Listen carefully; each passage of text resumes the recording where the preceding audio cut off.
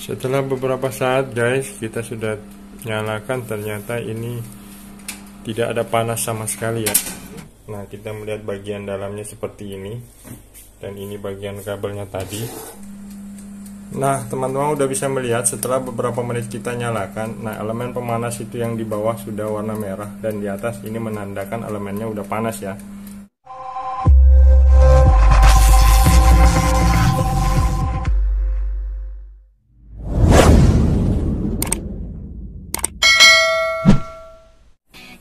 Assalamualaikum warahmatullahi wabarakatuh. Welcome back to my youtube channel Aris Jaya 82 Oke guys, di video kali ini Kita kembali ke bidang elektronik.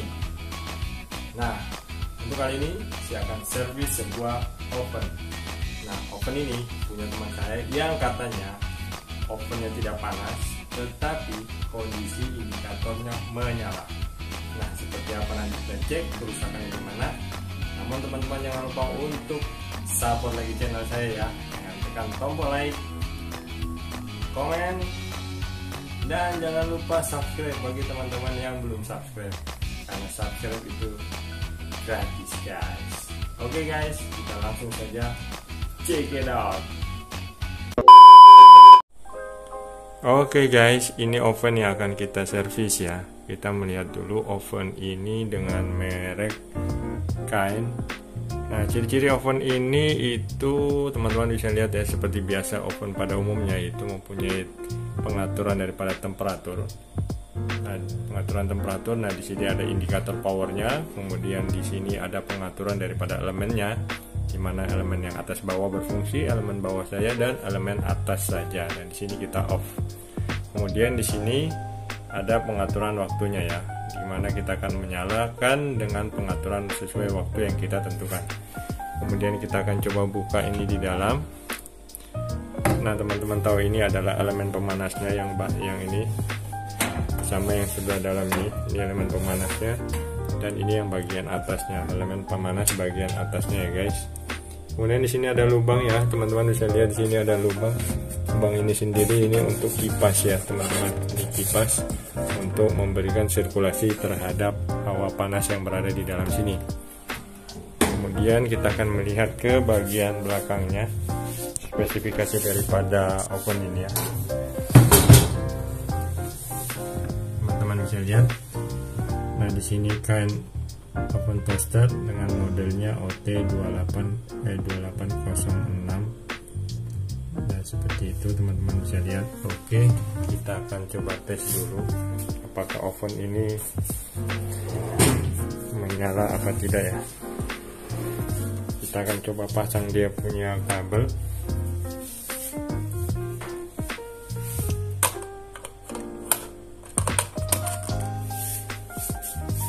kita akan coba nyalakan. Ini indikator nyala. Kita akan lihat apakah ini nyala apa enggak. A few moments later. Setelah beberapa saat guys kita sudah nyalakan ternyata ini tidak ada panas sama sekali ya. Ini tidak ada panas ini juga nggak panas. Nah kita akan segera eksekusi. Kita buka masalahnya di mana. Oke okay, guys. Tapi kita cabutin dulu ya guys. Nanti kita kena strom bahaya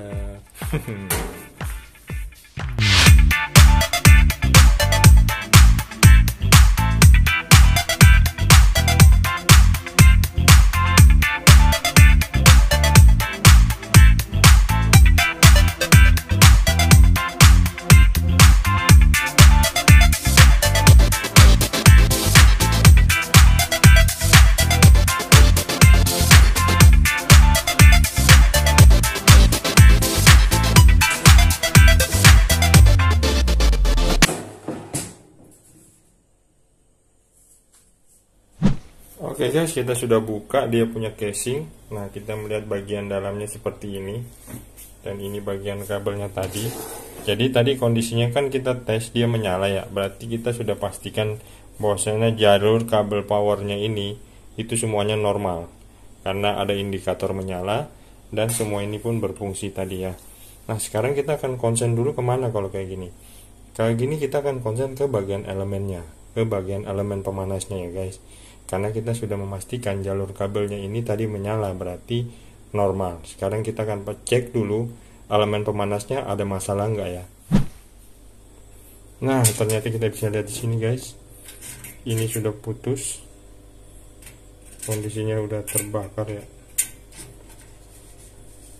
Ini juga udah goyang. Dan ini elemen pemanasnya bagian bawah serta yang ini ya guys. Nah ini juga udah goyang udah putus ya. Nanti kita akan cek ini apakah elemen pemanasnya masih masih berfungsi apa enggak. Dan kita cek yang di sebelahnya juga. Nah ternyata kita lihat elemen pemanasnya kabelnya putus guys. Nah ini dia putus. Dan ini yang bagian bawah pun sama guys. Putus. Nah ini caranya bagaimana kita bisa tes dulu apakah elemen pemanasnya ini masih bagus apa enggak. Kita tes dulu kalau elemen pemanasnya ini masih bagus baru kita sambungkan kabelnya ini kembali. Oke guys kita tes dulu elemen pemanas ininya. Oke okay guys, kita ngetes dulu elemen pemanasnya dengan kita membuat kabel modifikasi seperti ini.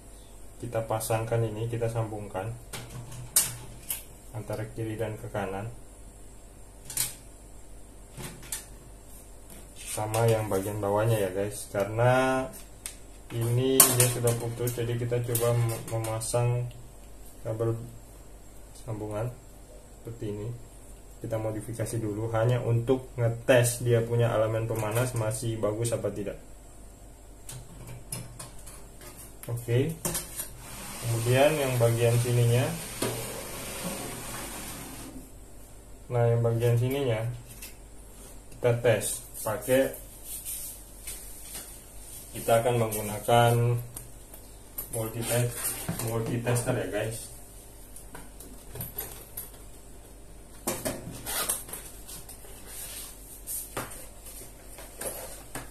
Kita akan menggunakan multitester teman-teman bisa menggunakan multitester jenis apa aja. Namun di sini saya menggunakan uh, pilihan untuk uh, resistor eh, resistan ya.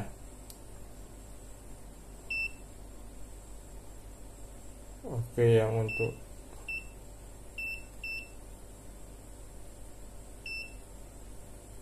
yang untuk ohmnya ya. Yang untuk selektor ohm teman-teman bisa melihat di sini nanti kalau ada angkanya berarti elemen pemanas yang atas itu tidak putus. Tetapi kalau tidak ada angkanya berarti dia putus guys. Jadi tinggal kita sambungkan kiri dan kanannya aja. Lihat ya bisa dilihat. Nah di multitesternya menunjukkan angka ya guys. Berarti elemen pemanas ini yang bagian atas masih normal.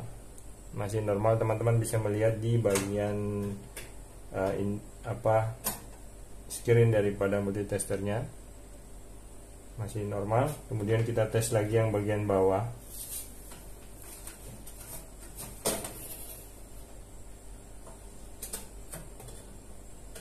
dan bagian bawah juga masih normal. Ada angkanya ya guys. Tinggal sekarang kita akan membersihkan kerak-kerak daripada skunnya dan kita akan mengganti kabel yang putus ya. Di sini guys kita bersihkan daripada kerak-keraknya ya. Biasanya kalau kayak gini kan ada yang kerak-keraknya. Jadi kita bersihkan pakai amplas. Pakai amplas atau sandpaper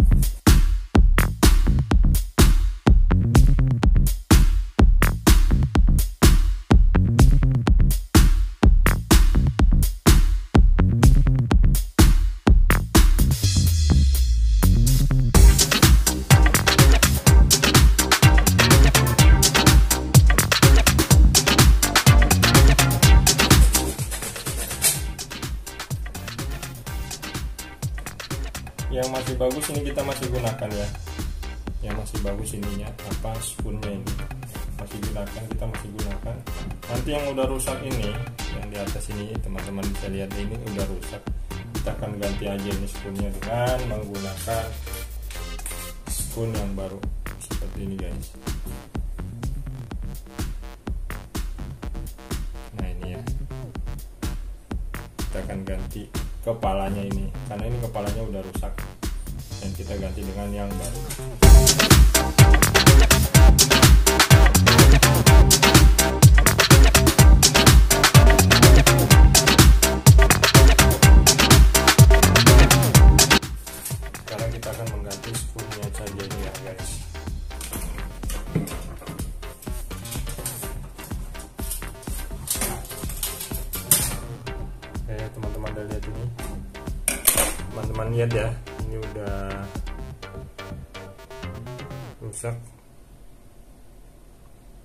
Udah rusak. Dan ini juga kita ganti skunnya dengan yang ini. Oke guys ini kabelnya yang kita udah ubah ya. Kita sudah ganti dia punya skun. Ini sudah kita ganti. Dan kabelnya kita tambahin di tengah ya guys karena kependekan. Dan ini kabelnya juga saya ganti sekalian aja dan tinggal kita pasang kembali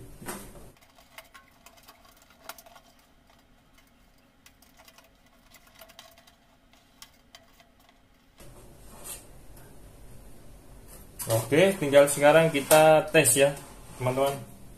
Kita tes apakah dia berfungsi kembali. Dan saya akan pasang dia punya pasang kembali dia punya plug ini.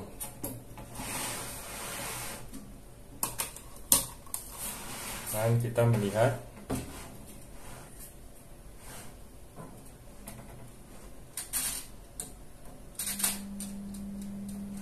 teman-teman sudah bisa melihat ini indikatornya sudah menyala dan kita akan menunggu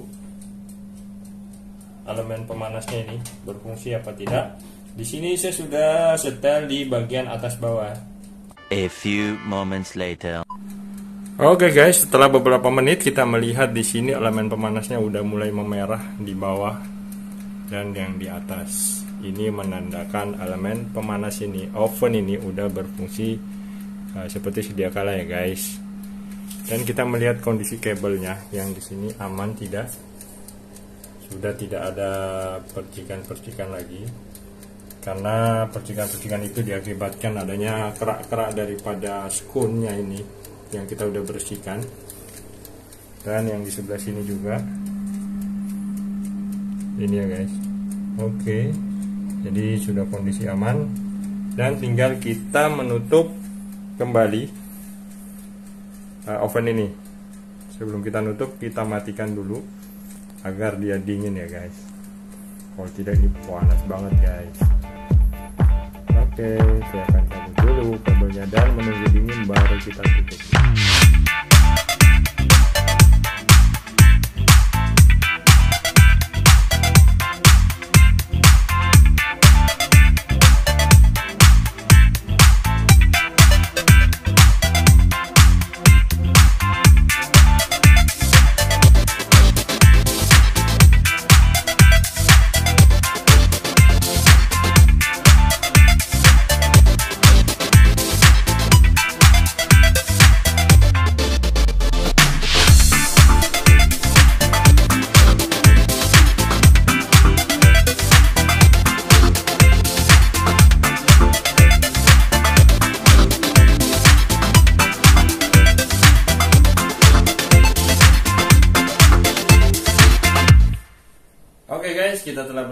memperbaiki atau servis daripada oven ini dan sudah dalam keadaan normal.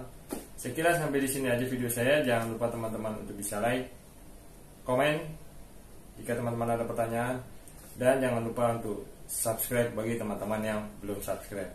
Dan jangan lupa juga aktifkan lonceng notifikasinya ya. Oke teman-teman, salam sehat dan sukses selalu. Sekian, assalamualaikum warahmatullahi wabarakatuh. See you next video. Bye.